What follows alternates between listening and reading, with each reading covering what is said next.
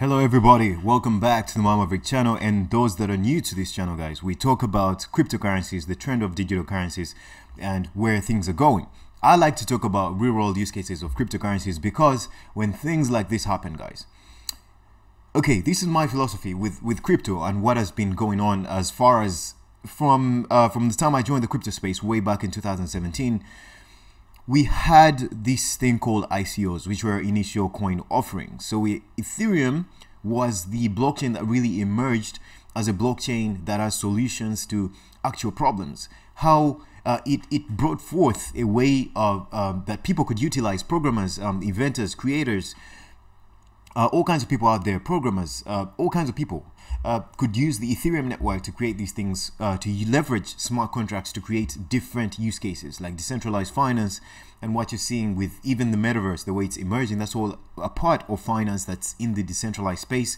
Um, NFTs and all other kinds of use cases like insurance and equities and all kinds of commodities, all kinds of um, structures, all kinds of elements being onboarded onto the crypto space and Ethereum was the one to sort of bring out that technology that that uh, created a dent in the crypto space in the way we see it here. So of course Bitcoin was the first. So the state of crypto, uh, the reason why I don't talk about price a lot on this channel is because it's all good it's all good when the prices are going up. And you see people they refer to as moon boys or I guess moon girls. It's, it's mostly moon boys. And you see all these things TikToks and, and so on uh, people pumping up the prices uh, pumping up the markets. Everyone thinks they know what's going on in the market. What I've discovered is that in these markets it's it's almost it's impossible to know what's going on because what the VCs tell you, the people with a lot of money, the billionaires, what they say, what they let us hear is not what they're doing in the background. Okay? So, however much they speak positively about the crypto space, there's a very high chance there. Some of them do similar stuff, but they, there's sometimes where news comes out and it shocks us. Let's say maybe uh, Jamie Dimon has said that um, Bitcoin may not rule or Ethereum might be, uh, Ethereum 2.0 will come out. I think Jamie Dimon said, said something like that. Of course, we know not to trust such words a lot because you don't know the intentions behind these people.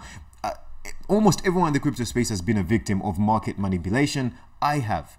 So the way this happens is that people get excited over projects, they invest at a point they shouldn't be investing, and then they get wrecked. So the people that have been pumping up the market realize that they've made enough profit, they take out all that liquidity they provided, and the market crashes or the particular token crashes on them.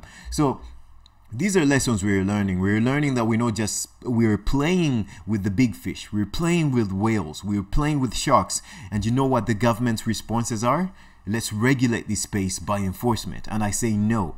I say let us own our mistakes. Let us learn how to navigate this space. Let this space teach us how to be investors. Let this space teach us how to be patient. Let it teach us how to do due diligence when it comes to research in the crypto space or elsewhere.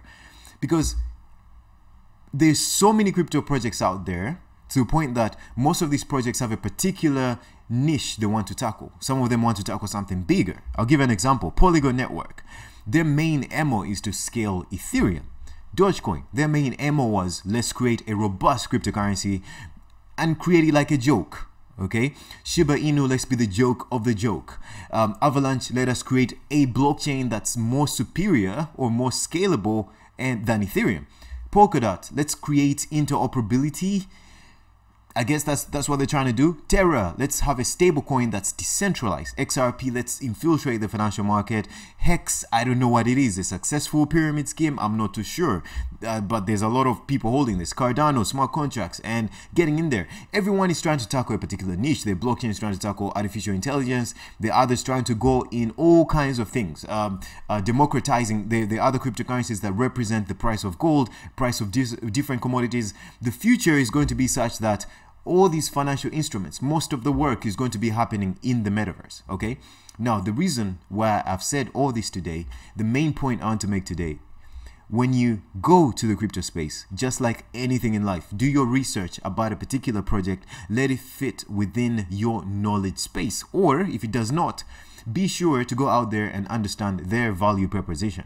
And once you understand that, be involved in a project not just as a quick get rich quick scheme, but rather being a part of something that you think is extremely important, provides a a real solution to a real problem that exists, then choose to be a part of that. Choose to be a part of the projects that are uh, supporting the movement that you believe in. Okay, so decentralization. Some people like Ethereum because of what it does.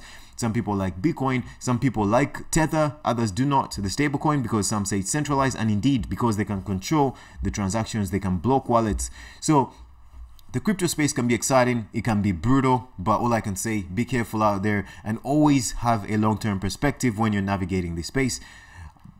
That's all I wanted to say today, guys. Uh, just a rough uh, um, discussion about the state of crypto and in terms of how you should approach this space. Uh, look at things like smart contracts, DeFi, uh, what projects are really working to be interoperable. In other words, to allow uh, their ecosystems to expand beyond just their niches. Um, people building solutions to real problems in the crypto space okay so that's what we should look out for especially if you want to develop that long-term mindset and to be farm to be uh, deeply farm into the ideologies that we believe in in this space and at least where it's going.